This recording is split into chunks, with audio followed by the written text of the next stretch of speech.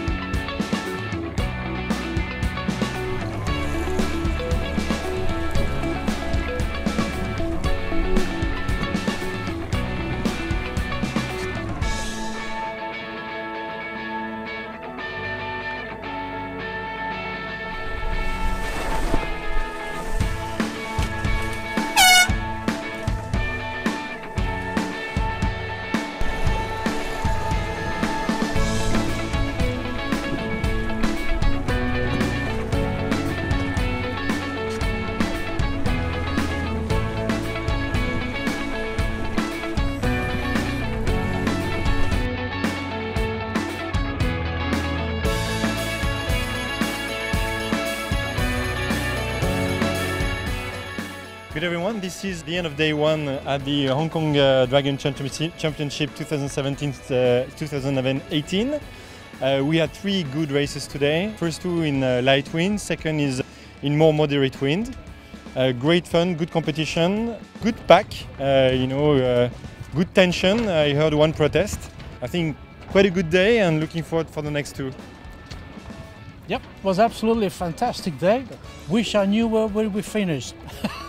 I have no idea. No, great, great atmosphere, very nice ambience, and now it's time for a, a, a nice run of beer right there. Exactly. We are.